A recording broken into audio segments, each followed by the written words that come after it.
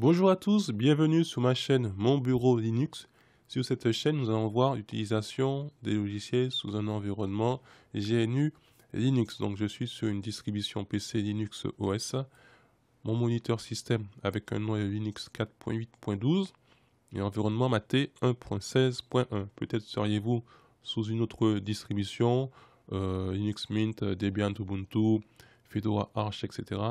Les applications que nous allons voir vous devrez aussi retrouver sur votre distribution préférée, ainsi que votre environnement desktop, que ce soit KDE, LXDE, XS Norm, etc. Et pourquoi pas, je vous ferai de temps en temps sur VirtualBox une petite démo d'une distribution qui est sortie. Donc euh, voilà, donc c'était simplement l'introduction euh, de ma chaîne Mon Bureau Linux sur YouTube. En attendant, je vous dis de garder la forme et la santé et je vous dis à très bientôt pour une prochaine vidéo. Bye bye